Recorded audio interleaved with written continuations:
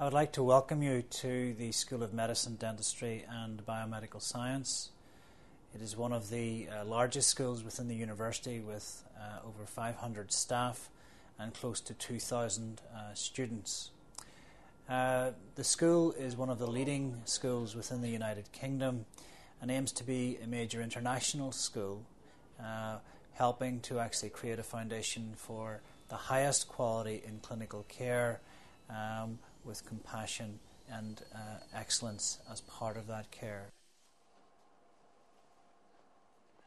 The undergraduate medical course at Queen's University is clinically focused right from the first of the five years.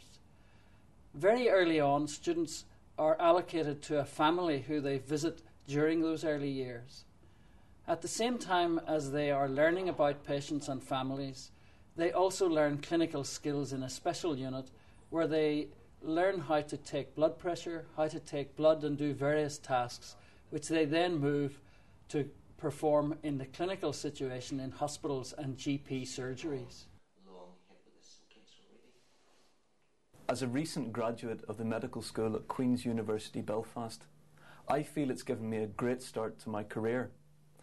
Right from the outset, the medical course at Queen's focuses on delivering sound scientific knowledge and encouraging early patient contact. I feel that's one of the great strengths of the course. Welcome to the Centre for Dental Education. In 2008, the highly regarded Times Good University Guide ranked Queen's University Dental School as the top dental school in the United Kingdom. This means that if you decide to study dentistry at Queen's University, you can be confident that you will receive the very best education and training that is available in these islands. Our dental students are taught in excellent modern clinical facilities by well trained and dedicated teaching staff. Our teaching staff take great care to ensure that all our dental students receive the very best support and encouragement as they develop into modern dental professionals. When I was at Queen's University, I had a great time there and made a lot of good friends. One of the main reasons why I chose the university was because of its great reputation and it's ranked one of the top dental schools within the UK. There are 40 to 50 people in each year group, so you get to know your peers really well over the course of the five years.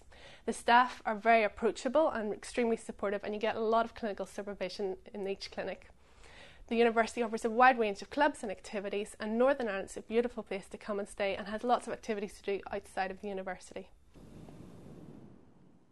My name's Tom Gardner. Um, I'm the director of the Centre for Biomedical Science Education. Now I've joined a, a team of uh, scientists and teachers to develop new degree pathways in human biology and in biomedical science for the 21st century.